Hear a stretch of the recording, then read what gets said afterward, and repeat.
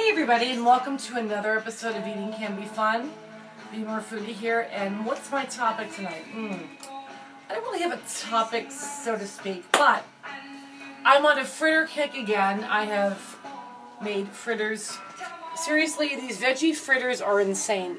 They're vegetarian but they're not vegan because I do put an egg or two, cage-free organic, mind you, and breadcrumbs that aren't gluten-free this time, but they're vegetarian. Um, zucchini, Vidalia onion, organic tricolored carrots, yes, of course. Like a beet, but it's not a red beet, it's like an orange beet, whatever. That, um, I've got scale, I've got um, shallots, jalapeno, um, kale.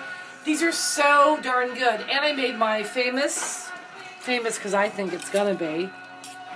One day I'll bottle this. Pineapple pepper salsa. Woot, woot, woot, woot. You can use this on anything. Gosh, I could. Mmm. It's so good I just ate it off the spoon. It's that good.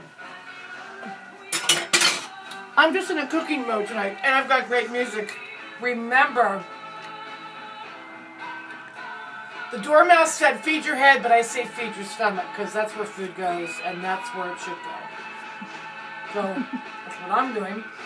Um, yay, camera person is here tonight, so I can just act like a goof and not have to balance my whatever. Um, and I made some more Parmesan crisps because Brown Eyed Girl, me, Hazel, Brown Eyed Girl, loves this stuff. So I'm over here. Don't pay attention to the sun-dried tomatoes and potatoes and whatever else. Mmm. Look at this. I've got this stuff here. Made these.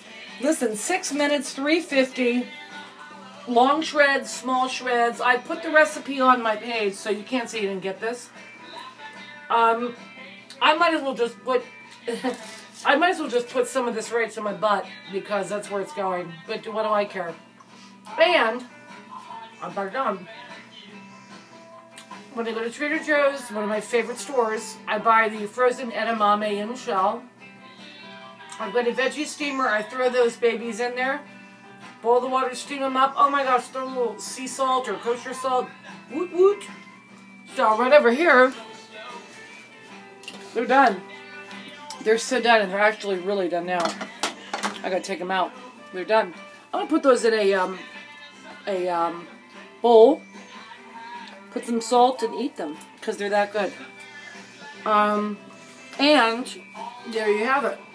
So the exciting thing coming up and that I'm excited about is Super Bowl. The team's playing? No, that's not why. It's about the food. If the 49ers were playing, I might be a little more excited, but they're not. Even though I live in Baltimore, Ravens aren't playing either. That's another story. But, nevertheless, it's all about the food. It's the Super Bowl of food. That's what's up. So I'm going to do, I'm to, oh, I, I guess there's, I've got something on my face, apparently from, camera person is here to tell me. Because if I'm alone, I don't know, and you can't tell me out there if you're watching, because how are you to tell me through the screen? Is it gone? Yep, good. Okay, yes. I'm going to do a Super Bowl snack episode. Um, what to have at Super Bowl. I know what I'm going to have, and I'm to I'm going to let you in on the little secrets of what I'm doing. So, listen. Enjoy what what's going on. Um, if you're not doing anything, that's fine too. But, you know, eat something good. Oh, and the Parmesan cheese crisps, I added oregano, a little more flavoring. So instead of just being cheese, I doctored it up. I made it fun. Like I say, eating can be fun. So until the next time we get together, which will be soon, I guarantee you, you can bet on that one and you'll win. Um, I'll see you then. See you next time. Cheers.